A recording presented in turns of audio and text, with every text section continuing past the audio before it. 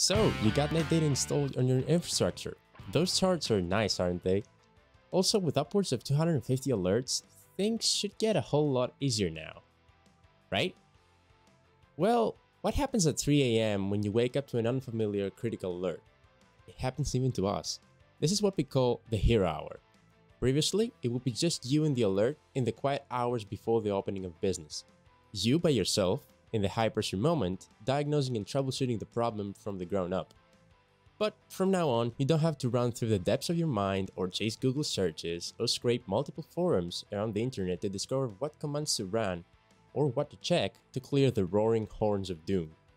Because we love trouble, even your trouble. We're now here to help you in a brand new way. Behold, the Netdata Community Alerts Troubleshooting Forum.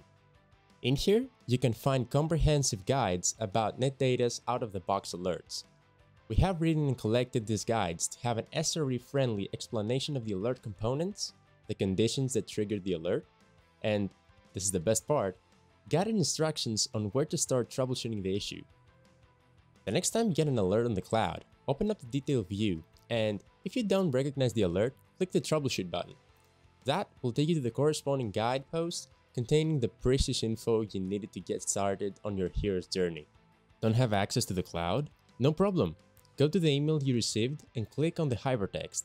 It will take you straight to that alert's guide. If you find the guide solves your alerted issue, you can give it an upvote on the top left to let other users know of its effectiveness. Of course, if it doesn't work, leave a reply for us and other users so we can find an answer. And if you have or discover any other methods on how one could tackle the alert scenario, make sure to reply on the post in the asynchronous conversation to add even more value for future users. If we can validate your solution, we will put it into the post and credit you for your help to our CERT community. Because that's the key to what pushes us at Netdata forward. We want to build a global community equipped to troubleshoot the technology of the world, and we can only do that with you, our community. So, if our community forum gives you back a few hours of sleep, feel free to return the favor to other admins and SREs by leaving a note in the post or setting it with another person with the same issue anywhere in our community. And remember, our out-of-the-box alerts are just the surface level of what you can do with the alerts in the Data Cloud. Feel free to check out how to configure custom alerts to make the most of your monitoring experience with us.